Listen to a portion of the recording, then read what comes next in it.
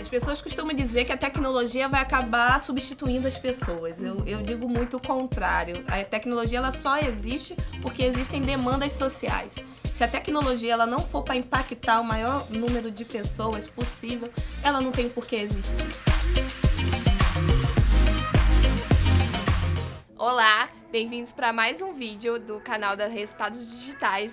Eu sou a Isa Meirelles, trabalho com comunicação corporativa na RD e tô aqui com uma convidada especial. Oi, Isa, agradeço o convite. Eu sou Nina Silva, sócia fundadora do movimento Black Money, que é um movimento de estruturação da comunidade negra ao redor do ecossistema empreendedor de inovação e tecnologia.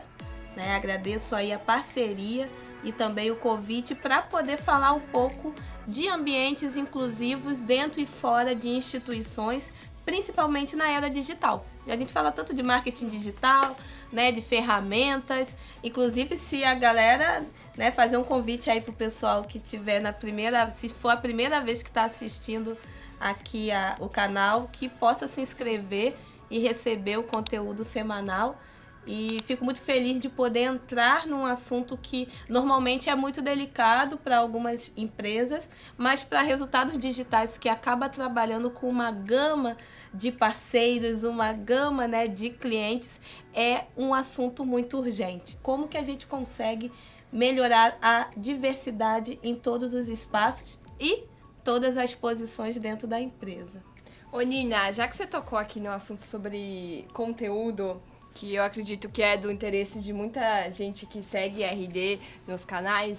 É, como que você acredita é, que as, os criadores de conteúdo podem é, melhorar, é, tornar o conteúdo mais diverso inclusivo para comunicar com mais públicos, porque é, muitas vezes a gente é, acaba comunicando para um público muito específico e excluindo né, a diversidade. A gente tem que entender que nós temos um público que não é alcançado nas comunicações, é nas soluções tecnológicas. Nós temos aí um público que acaba caindo numa desigualdade mas essa desigualdade acaba gerando oportunidade. Então, se você é um criador de conteúdo, você precisa ter noção de acessibilidade para desse conteúdo, não se preocupar apenas com legenda, porque nós temos pessoas com outros tipos de deficiência. Então, como que a gente principalmente trabalha conteúdos que possam é, ser interpretados para todas as pessoas e todas as pessoas mesmo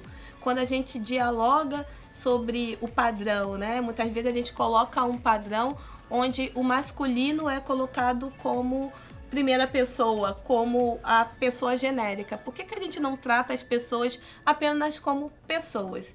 Então a gente tem um exemplo muito, muito interessante que é ah, quando nós vamos falar ah, é, pessoas de comunicação né? Ah, ou, ou, e não uhum. comunicadores, Sim. sabe? Como que a gente vai mudando a nossa terminologia para poder também absorver pessoas que queiram se sentir conectadas e, e criem uma empatia natural. Então, como que a gente é, evita certas, certos estrangeirismos, uhum. por exemplo?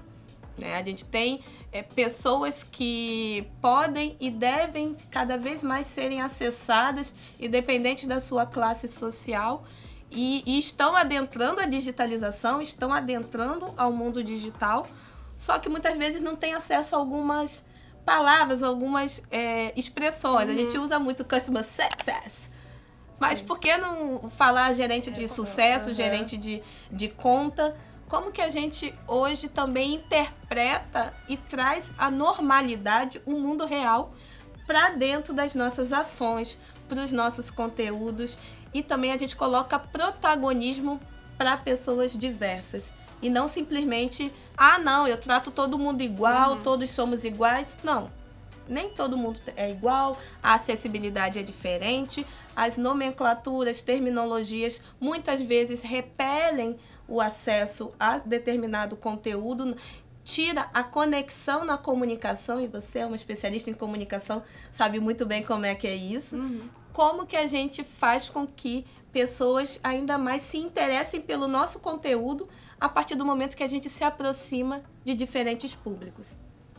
E agora que você tocou nessa questão de diferentes públicos, Eu queria saber, assim, o que, que você acha de como empresas de tecnologia conseguem humanizar a comunicação, conseguem humanizar a sua comunicação nessa era de dados e tornar, se tornar mais atrativa.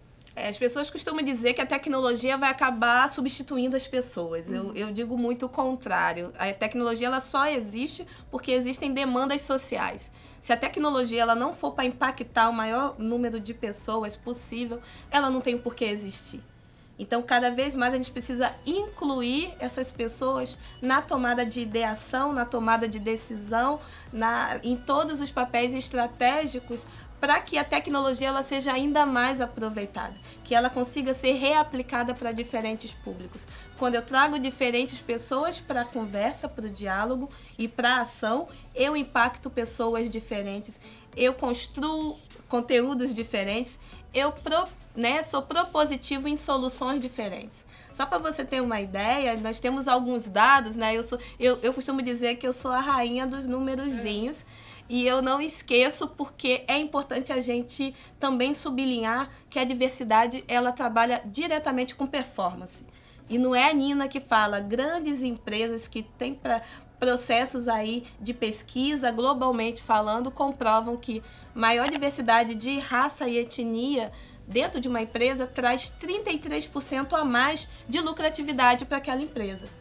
Maior diversidade de gênero traz 21% a mais de lucratividade. Então, para além de trazer a diversidade para a roda da discussão e para a tomada de decisão, a gente ainda é muito mais, traz maior performance, maior agilidade, a gente pivota menos, né? Tem, a experimentação é maior dentro de casa e tem uma maior assertividade no mercado. E isso todo mundo tem a ganhar so, essa sociedade que cada vez mais digitalmente consegue acompanhar o que acontece dentro de cada empresa, dentro de cada negócio, dentro de cada grupo. Essa sociedade que verifica, poxa, se essa empresa não se preocupa com pessoas iguais a mim, para que, que eu vou consumir dela? Por que, que eu vou trabalhar lá? eu vou criar o meu próprio negócio. Sim. É uma das vertentes que o movimento Black Money também incentiva. Como que a gente pode criar as nossas próprias soluções e nos conectarmos com empresas que sejam aliadas. A gente às vezes não tem muito espaço, né, para falar sobre isso, então eu agradeço por você trazer essa percepção, trazer um pouco sobre a sua atuação. É, se vocês quiserem saber mais também da nossa parceria, continuem acompanhando aqui né, o canal e que também possam acompanhar as nossas redes sociais, tanto da Resultados Digitais quanto do Movimento é. Black Money. Então, hoje em dia, joga Nina Silva, eu falo, jogou Nina Silva no Google, até o Wikipedia tem, tá, gente? Porque eu, estamos trabalhando com isso. Se conecte, mande também um e-mail para nós, que a gente pode também trazer ainda mais outros tipos de conteúdo e tirar dúvidas ao redor dessa discussão. Aproveitem para se conectar e também para serem agentes de mudança. Obrigada pelo convite. Obrigada a você.